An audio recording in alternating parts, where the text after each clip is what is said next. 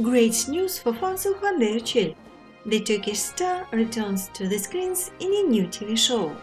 In her latest interview, Hande spoke about her dream project and the difficulties faced by actresses in the Turkish show business.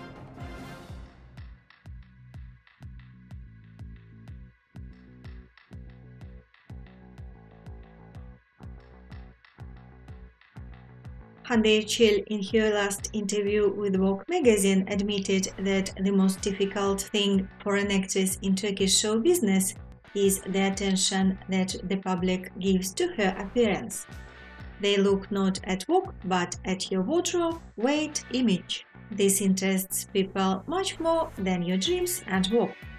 They especially like to criticize physical defects instead of discussing talents.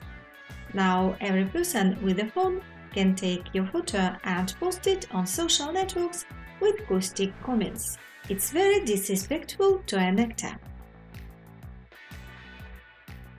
Hande also said that after a long break, she is going to return to True Dizi with a new character that will inspire her and push the boundaries. It's been nine months since she finished the previous series. During this time, she has had time to relax, take care of herself, travel. Never in her career has she had such a long vacation. And now, Hande wants to return to the screens with a character that would inspire both the actress and the audience. While Hande Erçel chooses a suitable project. Recall that the actress signed an agreement with the Disney Plus digital platform, but so far this is only an agreement of intent, and she doesn't have a specific show. She reads the scripts. We'll follow developments.